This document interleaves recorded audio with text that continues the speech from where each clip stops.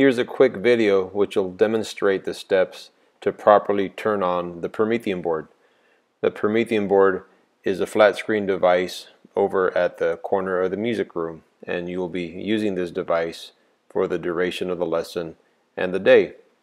And you'll begin by simply uh, pressing the power button.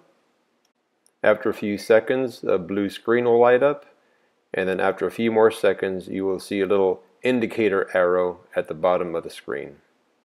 Go ahead and tap that arrow and you'll see an array of options and you'll go ahead and press the yellow source button.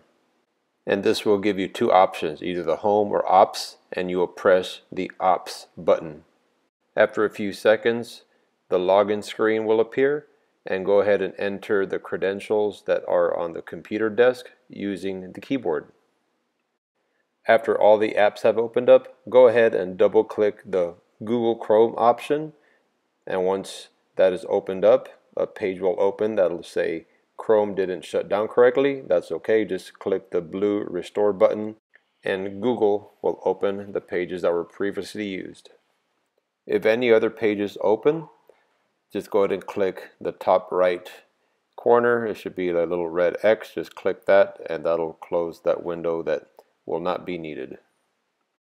And there you go, all the necessary tabs will be open and the music lesson will be found on the left side, the top left side. Go ahead and click on that and you'll see all the lessons with the uh, activities and links that you need and the corresponding grade levels will be found at the bottom. You'll see introduction, kinder and first, second, third, fourth, and fifth grade. And again, thank you so much for leading the music class and feel free to contact Mr. Castillo if you have any questions. Thanks so much.